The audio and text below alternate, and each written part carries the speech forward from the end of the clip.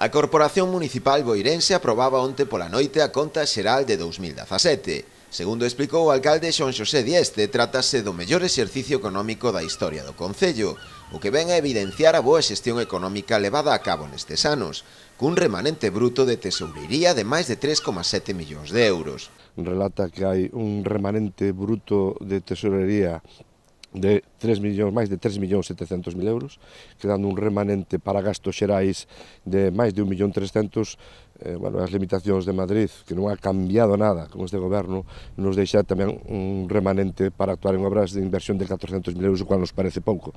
Despois hai un dato importante que o aforro Bruto foi eh, eh cerca de 2 millóns 700, quedando o, reman, o aforro neto en 2 millóns de euros.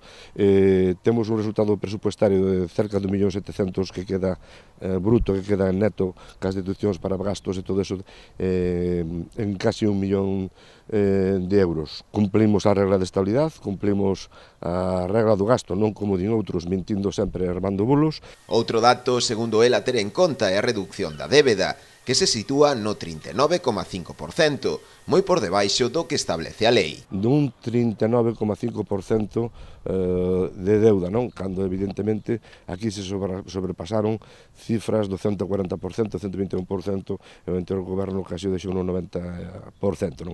Polo tanto, temos unha liquidez importante que estes resultados nos fai que teñamos no banco a finales do 2017 máis de 2.300.000 euros que sirven para facer distintas actuacións, entre elas agua, o saneamento de agua Bealo, o que é o Club de Remo, e tamén o tema ah, de Goiáns. Polo tanto, temos garantizado mm, nestas oito anos, en primeiro lugar, o mantemento dos servicios públicos, que non hemos reducido nada, con ningún recorte incluso os hemos ampliado, temos garantizado a reducción da deuda e non hemos recurrido para sanear a deuda a ningún préstamo nun período de... Eh, dos oito anos, solo para sanear a deuda. Se hemos recurrido ahora para o tema de, de Goián e o Cudarremo porque nos dou permiso o Ministerio o, do Interior, e oito anos sin subida de impostos e de tasas, non? Subeu, como sempre, o do IVA, que non o subo o Concello, o Concello sempre ten no mínimo, e, polo tanto, é un resumen dele eh, importantísimo. Quer decir que cada ano imos mellorando, non?